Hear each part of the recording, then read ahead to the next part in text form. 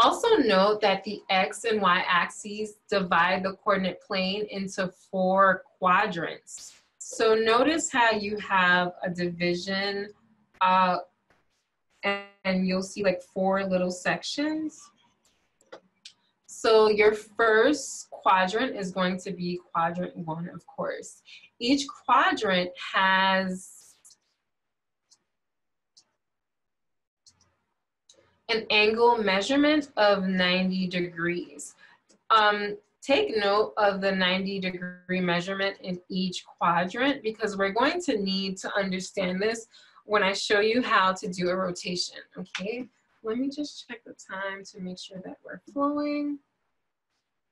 Finally, to graph uh, the points x, y on the coordinate plane, you need to start always at the origin until you get like, when you're really savvy, you don't have to start at the origin, but for all beginners, I always say first start your position at the origin. And you're, you're either going to move X units right or left, and you're going to move Y units up or down. Okay?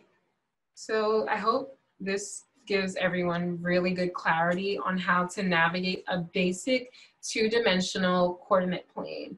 And again, doing geometry in a coordinate plane really takes you out of, you know, the normal mathematical realm and it shifts you into the world of your imagination because you're navigating um, directions and you have to shift, move, and manipulate objects.